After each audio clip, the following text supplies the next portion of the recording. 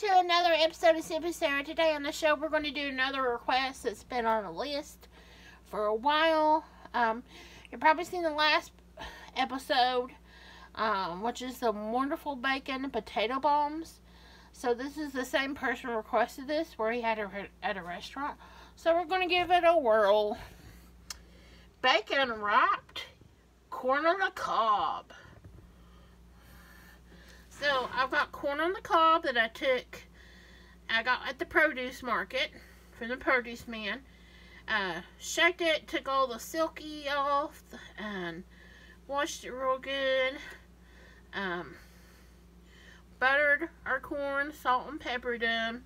And now we're just going to wrap them in bacon. I've got two ears left that I'm going to show you what to do. Now you're going to need one or two. Depends on if you've got the little tiny ears like in the frozen food section. You would throw out and do that. But these are kind of long so that's probably going to take two slices of bacon. And we're just going to start it and wrap. And get you some good quality bacon. Then uh, Now this is just regular um, bacon not thick sliced. Okay, and then when that part right here, then we're going to start right here with our other slice where I left off.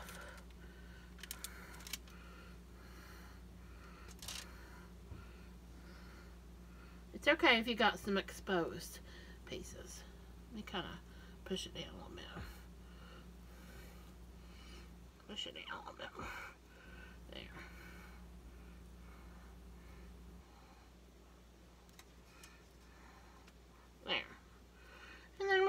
bacon wrapped. Alright, so let's do our other one. They don't have to be um, precise.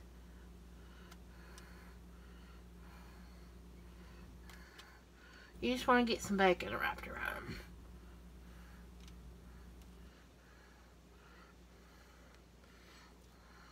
Alright. And you can kind of tuck it in if you want to. But if you just lay it down, it kind of adheres to itself. And we're going to put them in a 40 degrees Fahrenheit oven. Uh, probably about 30 minutes. Because you want to get your corn done. You want to get your bacon all done and then start getting your bacon crispy. So I have to come back with video two. Now, um, I'm going to, even though I salt and peppered, you know, uh, and buttered the corn inside. Just a very thin layer. Um, so the salt and pepper, I just barely salt and peppered it. Because you know bacon is salty. So, let's put some seasoning. We're going to put some garlic powder.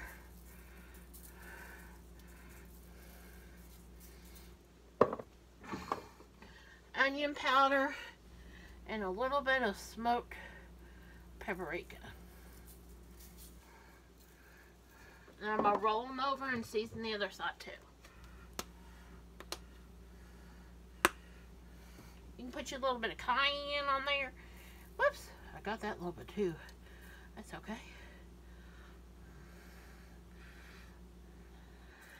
He didn't tell me what kind of seasoning was on the corn. He just said it was bacon wrapped. So I'm just going to kind of do it like this and then roll it. And then we'll season the other side. Now I've lined my pans with non-stick aluminum foil. I think that would work, you know, the best. Because this is going to get messy.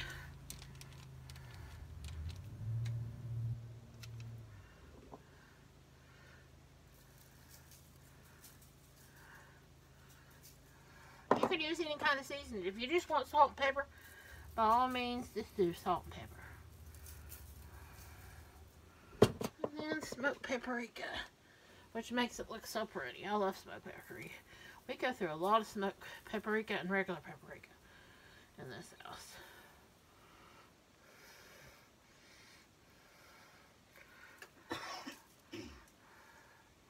I want to get them out. So you do yours how you want to. Alright. They'll go in the oven for about, I don't know, about 30 minutes, maybe 35, 40.